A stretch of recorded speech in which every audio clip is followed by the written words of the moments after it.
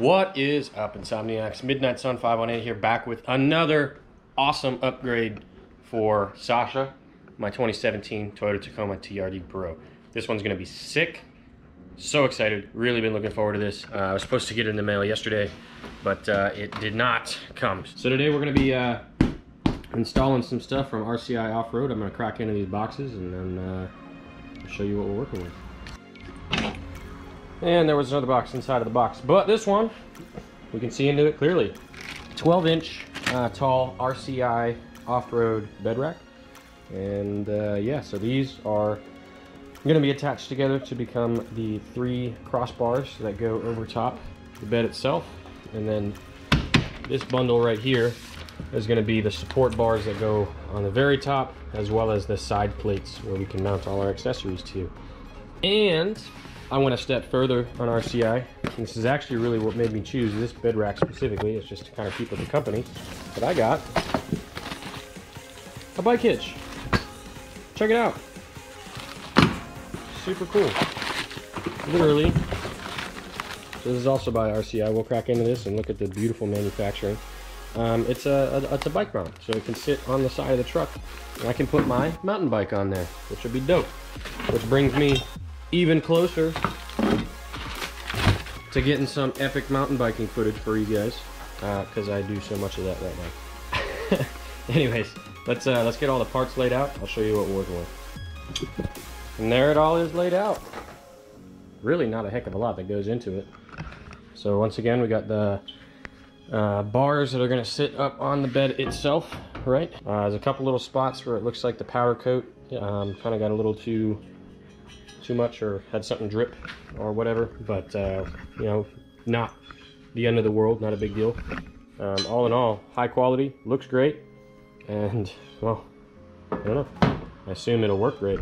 We have the top bars here, and then these are the plates that are going to go on the side. Um, RCI stamped right in there, which is cool. And uh, yeah, and then the other crossbars as well. Like, and then all the supporting hardware to go with that. I don't know what these two plates are for yet. Buttload of nuts and bolts. Um, all the hardware to get these guys mounted into the bed. All right, so for this next step, we're just kind of preparing, right? So we're gonna be taking um, everything out of the track because these are gonna be mounted to the track itself. Now, it doesn't keep you from being able to use it. Um, however, uh, we do need to make sure that there's nothing in it so that we can get spacing and all that sort of stuff. So to start with, we're gonna pop off those little end tabs right here by pushing down on this guy and bringing it out, just like that. Want to hold on to these, obviously, because we're to put them back in later. So you can get both of them. And then uh, from there, going to take out all of our tie downs. So literally, you push, you twist to unscrew it, and then you push it in. And if you lift this out just a little bit, you can rotate it, and it'll pop right out. So you got this little metal piece right here which sets in sideways, right? And then when you push on this, it extends. That's what uh, locks it in place. So I'm gonna get all four of these off and then we'll move on to the next step. Alrighty, so I uh, got all the nuts and stuff laid out. These guys are here as like extensions. So when you look at the uh, rack like arm itself, it is not long enough to reach the rail. Why it was designed that way, I don't know. I assume this is just more universal between trucks. Um, so they sent us these guys right here to act as little extension plates. Um, so we'll be able to get those guys put in there and that'll allow it to reach the bed or the, the rails. But to start out with, uh, we got three of these guys per side. They're gonna be sliding into the actual rail system. So now we're gonna be building the actual racks themselves. So these bars, these big ones, are uh, rectangular, right? And that gives that little lip at the bottom, this little little edge. If I cannot break my garage, um, allows you to slide these right into where the arms are. So we're gonna do that on both sides here. And there you have it. It's all slid in. And this will allow us to adjust it specifically to the width of the bed. So I'm gonna flip you around and stand up on the bed and mess with this. this guy just gonna kind of rest him in here. We'll move him around once we get there.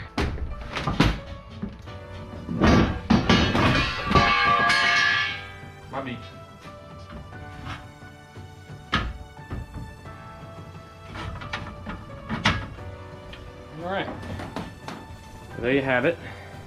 So those are now set in place. So we'll finick with them and move them around.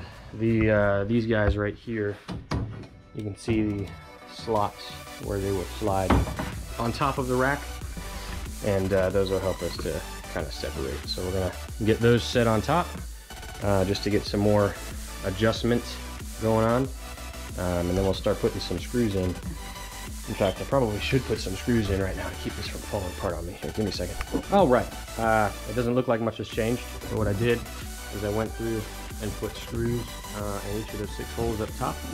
And then right up underneath, you can see here, uh, I put a regular washer, a lock washer, and then a nut. And it's very, very hand, hand tight, not even hand tight.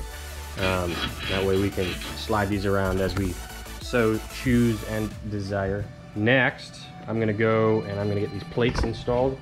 So basically, I'm gonna have to run a screw through the back of this guy.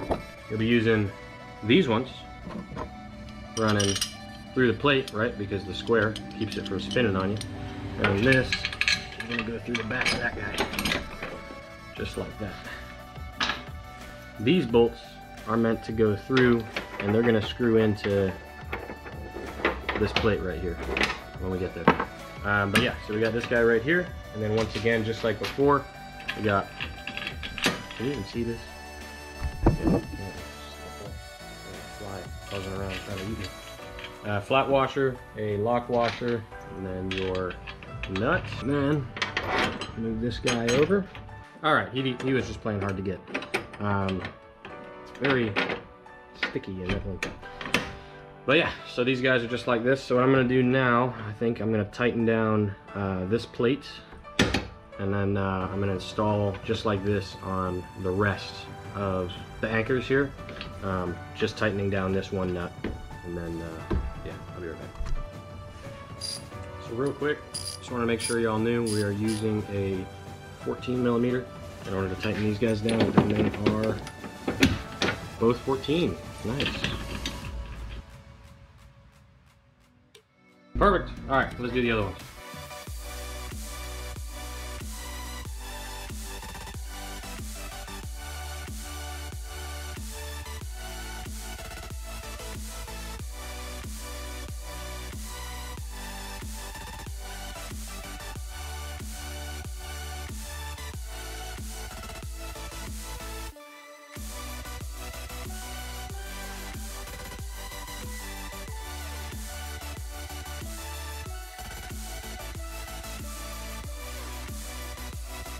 Alright, so now we got all six of them uh, installed. These ones, once again, are tight. These ones are loose. Uh, and that'll allow us to shift the whole thing around. So next, we are going to install these guys, the side plates. Um, so they, once again, rest right along this edge. Um, and then same deal here. We're going to put screws through, and then we'll put a regular washer, a lock washer, and then a nut on the back. Um, and it looks like we're doing one, two, three, four, five, six, seven, eight for each plate. Um, and then from there, we'll be starting to tighten stuff down. All right, so uh, brainstorm time. I'm dumb. So I was sitting there and I was looking at this plate, right? And I was thinking to myself, like, the RCI logo is there, but it's not like super noticeable, right?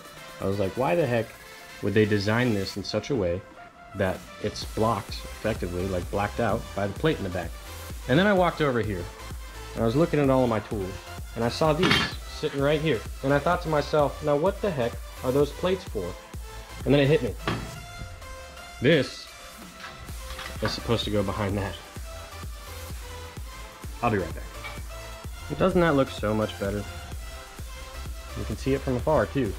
Oh look, it's raining. Alright, I'm gonna get the other side knocked out. Alright, and it's on there. Um, next, I'm gonna tighten down everything. I'm gonna tighten down starting with these panel bolts, uh, and then from there, I'm gonna do these ones here. And then once all those are tightened down, I'll make sure these top bars are straight and get them tightened as well.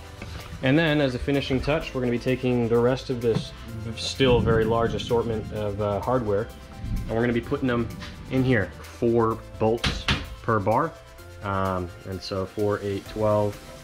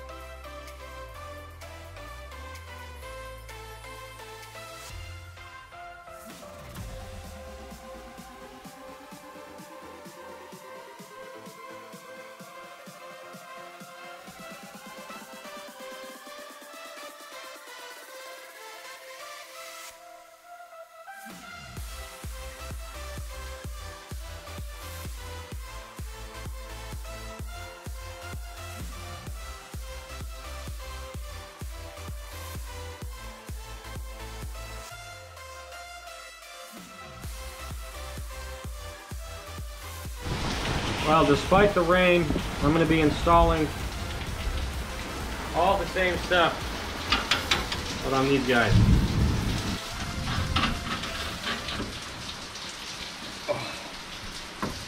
All right. Now I'm going to go through and take them all down. These are all tightened down and the bed rack is on there solid. Um, I could not fit a socket up in there, so I had to use my adjustable, which is the worst, but uh, it is what it is. So uh, now we can go ahead and pop these guys back on the ends here. Literally just, whoop, don't drop them. Set them, slide them. Then we can get these guys reinstalled again. Uh, so once again, opposite of how we took them out, right? So you got that metal piece right there. Just kind of line it up with one of those little hole slots there. You can push the circle down, twist,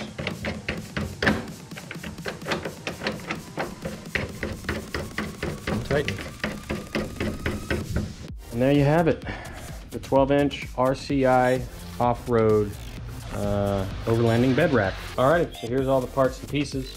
We've got the rear tire uh, tray.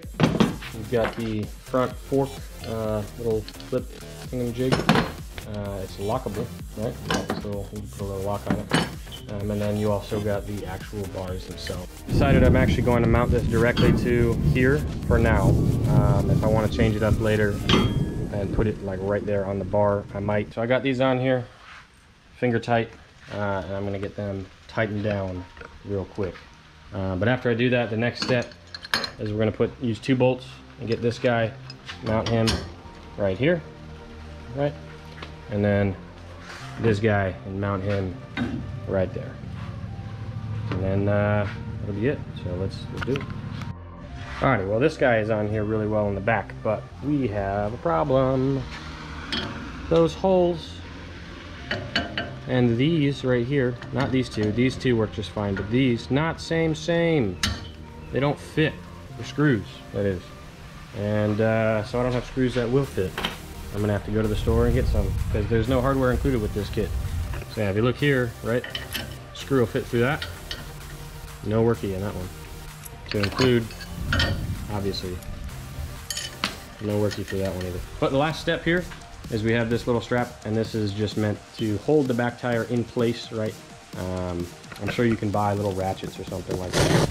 However, uh, that's not the case here. So, we have these tiny little slots that we can run these through um, just to make it work. I am just gonna stick with the middle one. Now the convenient thing of it is about RCI is uh, because it's a module, modular rack system, you can literally get another one of these and put it on the other side and have a second mountain bike. That's two.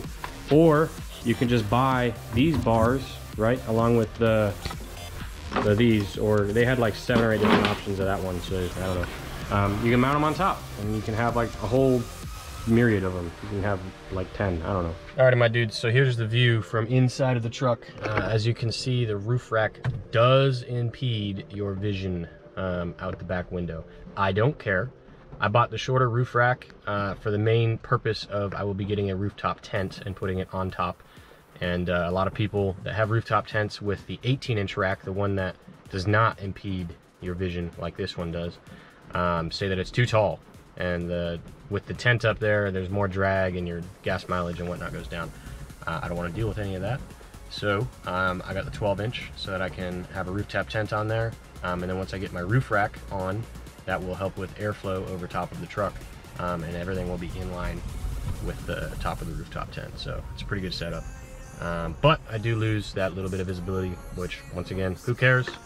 Um, not that big of a deal, but I'm really happy with it and I'm looking forward to putting it to, to some use. So I went to uh, Lowe's and I got me uh, some hardware. Um, so same as the rest of the, the rack. Um, it's the bolts, it's a lock washer, a flat washer, and then the nut I threw on top. And these are uh, quarter inch um, nuts, or quarter inch bolts uh, is what fits. So I think those are 3 8 inch and uh, these are a quarter inch. So works great. It's on there solid. Looks great. Excited to get some use out of it. All right, well there you have it. Looking pretty good if I do say so myself. Uh, it was very easy to put together. It took me about an hour. Um, but yeah, so there you have it.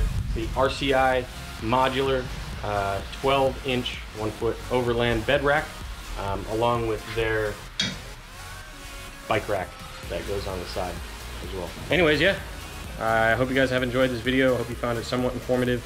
Um, I did not have instructions with this. Uh, they didn't have any in the box, which was kind of weird. Um, I guess you could go on YouTube. I mean, you are already if you're watching this. Anyways, go on YouTube and uh, get all the information on how to install this thing. But it's really easy to figure out all on your own, and I did do it on my own. So, yeah. Anyways, uh, I guess I'll catch you guys on the next go around. Midnight Sun out.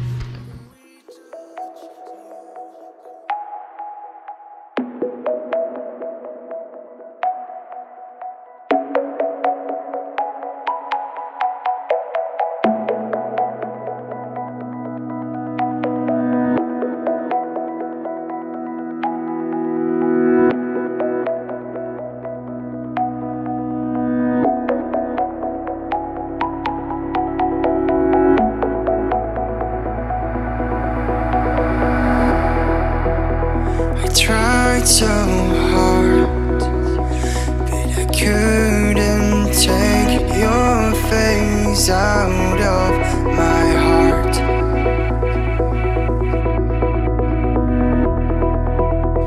I can't hold back these feelings I have. They are overwhelming me when you look at me.